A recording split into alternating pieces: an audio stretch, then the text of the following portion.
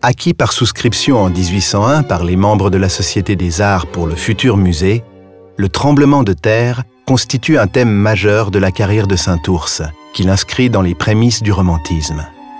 Cette composition monumentale représente le drame humain d'une famille terrorisée qui tente de fuir l'écroulement d'un bâtiment, sans doute immense si l'on en juge par la taille des gros blocs quadrangulaires, et qui cherche à échapper au cataclysme qui la frappe soudainement le sol dallé se brise sous les pieds des personnages dont le regroupement triangulaire forme une diagonale opposée à celle constituée par la construction, accentuant ainsi l'effet de déséquilibre.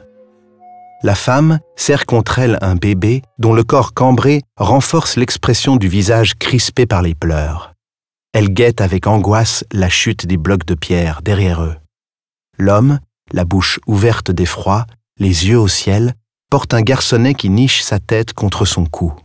Il tient par la main un enfant plus âgé, croisant ses bras sur sa poitrine en un geste de protection dérisoire, le regard dirigé vers l'incendie embrasant le ciel au loin. De part et d'autre, le monde se dérobe. Aucune échappatoire ne semble s'offrir à eux. Les expressions des adultes, figées, la bouche ouverte, reproduisent des masques de théâtre antique, et la monumentalité des corps rappelle la sculpture antique.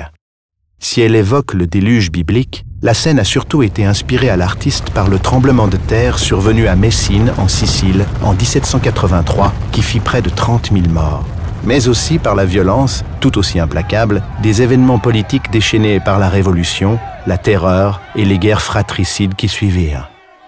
Avec cette vision terrifiante, Jean-Pierre Saint-Ours dénonce allégoriquement la violence engendrée par l'action politique.